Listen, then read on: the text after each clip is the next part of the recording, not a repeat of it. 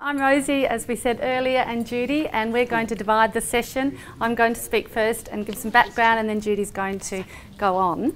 Um, we'd just like to share the logo with you for this project because it's highly significant.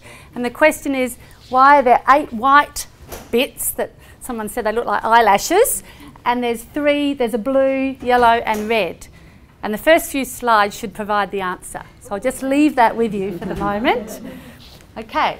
So what we're going to do very quickly is provide the, some background, but I know that you've had that in the executive summary, but we just wanted to add a few bits in there as well and come to the framework and then I'll pass over to Judy and Judy's going to look at the resource a bit more and some examples around school culture.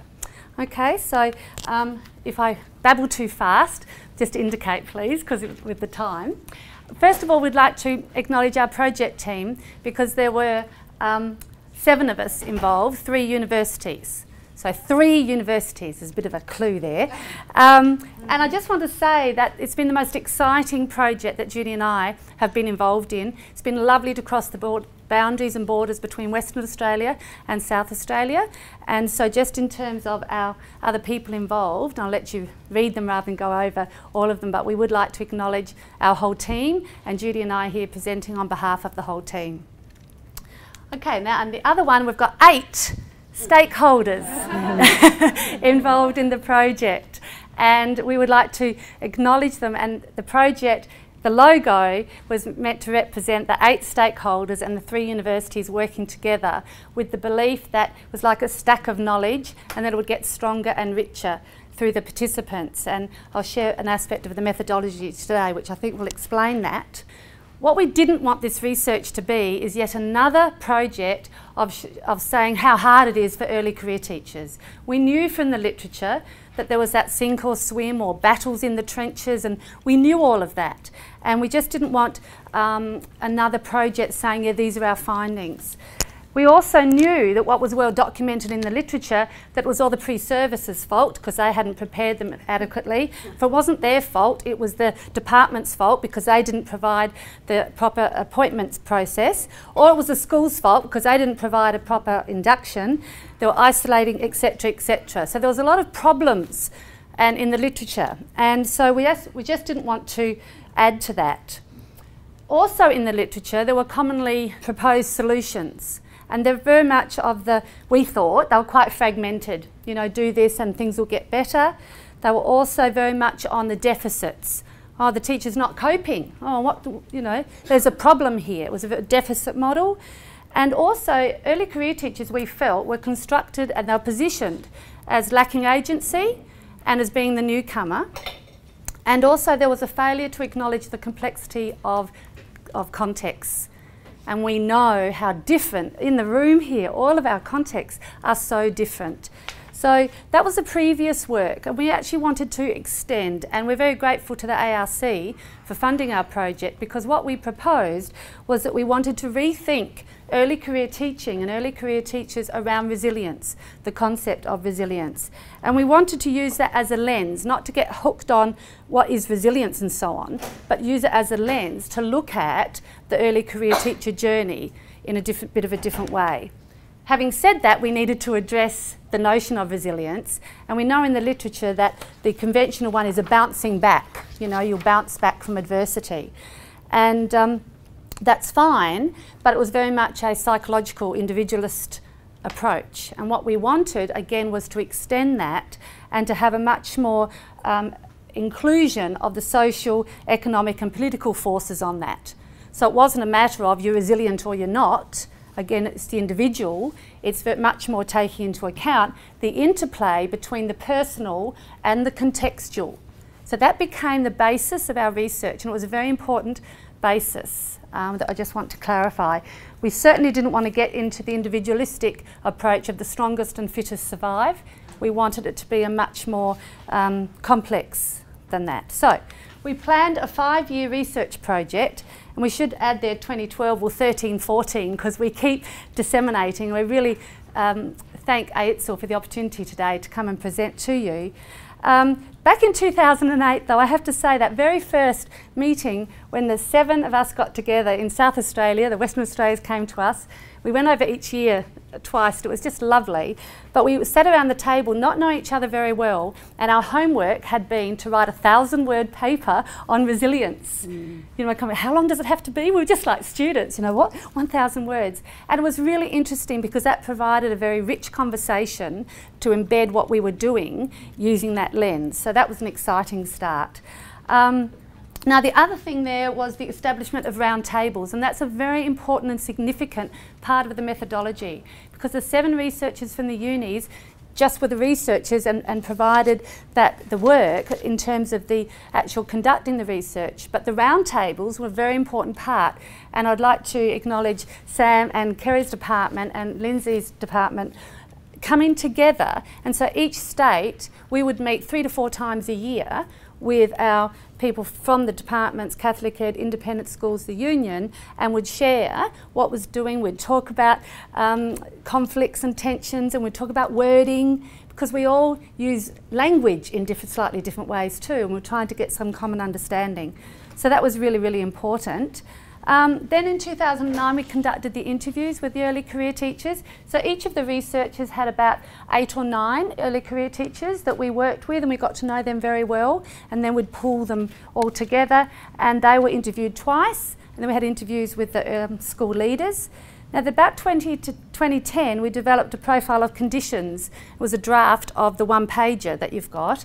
And then we worked with schools and participants. And again, the hours we spent on the words, each, you know, the wording of each one. Sam's laughing because we know that one of the round table meetings we really got bug bogged down in. No, not that. Use this. What about this? And it was fun. It was, it was good fun as well developing it. And I think that's a good thing research should be.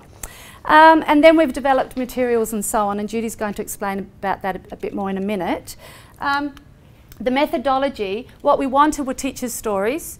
We didn't want to do a quantitative approach. We really wanted to get out there because I think it was Phil was saying about the humanistic endeavour. These are people, these are um, our early career teachers, and I can't just say young because they were a variety of ages, but we wanted to hear their stories, and so that was really important to us. And um, our reason for having the participants was really willingness to be involved. That was the only criteria. And we were, we, you know, we struggled a bit to get some of them because, again, we didn't want it to be an additional workload. And we were lucky again with the funding, ARC funding, because we were able to get relief time for them when they interviewed. And I think that's really important, so it didn't become an extra burden. Um, and then the analysis, oh, the data collected and then the analysis, we actually, actually had 171 interviews and we had 1,800 papers, uh, copies of, of rich interview data that we needed to um, work with. And so we used the research team, We'd get together again for our lovely get-togethers for two or three days at a time. And the five key themes that emerged were the five headings that you've got on that one pager. And so the notion of policies, teachers' work, relationships, school culture, and teacher identity. They became clear very early on. And then we used the NVivo, which is a software program, for more fine-grained coding of the data. Now, just need to keep going here. The participants, just out of interest for you, for South Australia and Western Australia, you can see that we had a predominantly female population and um, certainly in South Australia, a lot were in that 20 to 24 year age group. In Western Australia, they had a much higher proportion of the 35 um, plus. A lot more primaries than secondary. Um, metropolitan, rural, remote, about half and half. Mainly government system and mainly contract employment. So that just gives some um, indication there. And here's very just general to see where in South Australia and Western mm. Australia we did try and get some remote as well as rural, and um, so that could, we could try and see that we're not just talking about one particular cohort. So I'm coming to this now, which um, is came about as a result of the interviews with the teachers. I should have said when we interviewed the teachers for the first interview, we actually asked them things like, you know, what's going well in your teaching? What are you enjoying? What are some struggles? What, you know, how is it for you? That was in the first interview. And in the second interview, after they'd been there teaching for about a year, we got them to do a line diagram and it was basically the highs and lows. And so they had a piece of paper and they did over the year, and it was just fantastic because it was very pictorial evidence of what it was, and then they came back and talked about what the peak was, what the trough was, and that sort of thing. So that, that was um, fantastic. With these, I think it really does again pick up that it's a human endeavour that we're talking about. And I won't get carried away talking about relationships one, because for me that's paramount. Across all of them, we're talking about relationships. And what we're finding too is there were many lived contradictions for the early career teachers. It's not about just saying develop relationships with kids and parents and teachers and the principal and everybody else. A lot of it was very um, like with teacher with students for example yes they were enthusiastic and loved their relationships but they also drained them so there was a whole, you know, there was that juxtaposition of positive and negative emotions. So, um, but can we just say that what we will argue with all of this, both in the one pager and the book, is that we believe that the substantial level of change needs to occur at both at, at many levels cultural, structural, pedagogical, and relational. So it's not just about one approach. We're talking about that. And we also really believe that it needs cooperation and support from governments, education systems, schools, teachers, te teachers unions, universities and communities. So it's very much that holistic approach. So I'm getting, I'm needing to move over and I'd like now to pass over to Judy. Thanks, Judy. Thanks, Rosie. And um, perhaps just to mention, um, Rosie was talking about interviews with teachers, but of course there was also an interview with a school leader in every of the uh, every one of the schools at the end of that first year too, which contributed to this. So um, what I'm going to do is talk a little bit more about this resource that um, you've all got in front of you because um, we got to the point of having the framework and we'd worked very closely with our stakeholders and they were happy with this and felt that it would be useful, but we'd very much also committed to developing further materials that would, would elaborate this framework and also provide uh, an entree, I suppose, for work in uh, at various levels. And um, so that was how we came to, um, to decide that we would produce a book. And mainly it's an online resource, and um, we have given you the website for it. But our stakeholders also felt at the time that it would be useful to have hard copies to disseminate, so we found that we could um, self-produce them for about, I think it was $15 a copy, and they kindly um, coughed up money and we produced quite a big print run. We're about to do another print run apparently, so if you decide you'd like some, um, let us know because uh, we can produce them for about that amount. But you've got yours gratis today. Um, so our stakeholders were also keen that it be very accessible. They couldn't imagine it being useful if it was, you know, a, a sort of heavily uh, theoretical document, um, very dense, etc. And so we decided to use a structure where we took each of the five themes that you see on the framework and each, um, there's a section of the book on each theme, and the one I'm going to particularly refer to, if you want to look at it, is over on page 40, and it's the school culture one.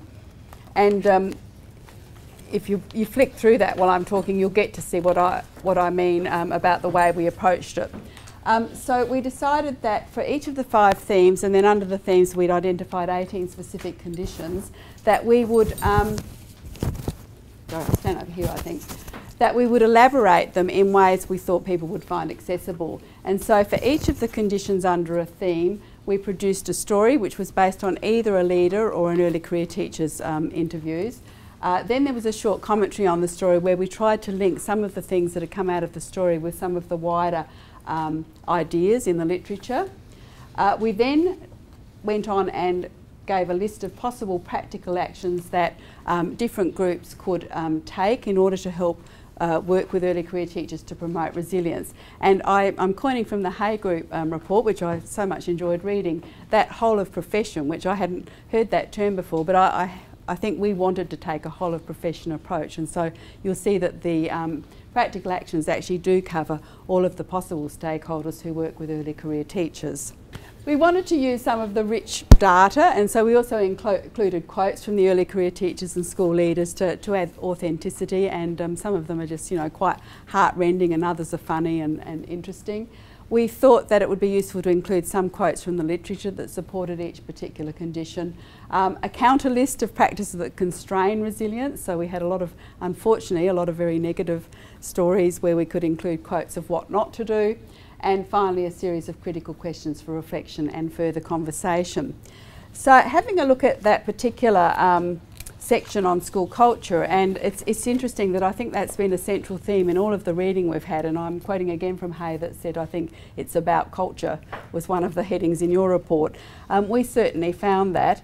And um, you'll see at the bottom of page 41 that under the school culture um, theme, we had actually four different conditions promote a sense of belongingness and social connectedness, develop educative, democratic, and empowering processes, provide formal and informal transition induction processes, and develop a professional learning community.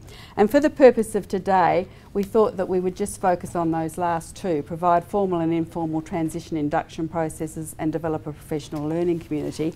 And just share very quickly, and it will have to be very quickly. Um, a little bit out of, of that section. So you just get a flavour of the kinds of things that were there. So providing formal and informal transition induction processes, this is only a little tiny bit of the story, but Aaron was a young phys ed teacher who got appointed to a school. He got given, in addition to this, a five minute tour of the school when he arrived. At the end of the tour, he'd missed where the toilets were and he didn't know where his classroom was, but that was it, and he was about to teach. Um, he gathered the information he needed to survive by approaching anyone he could find to help and found often they were too busy or dismissed him, etc. He was given a mentor, but because he was the only phys ed teacher in the school, they gave him a mentor from another school, and unfortunately, it seemed like it just never eventuated. So he really just made it on his own. So I guess that was one of the, the negative stories.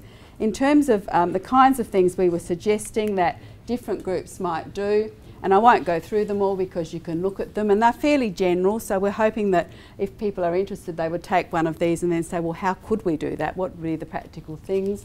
But obviously, we do want those partnerships that help to develop and support effective mentoring. We've had people, Murray was talking about the fact people don't just know how to mentor, leaders don't and teachers don't. They need to be um, have training.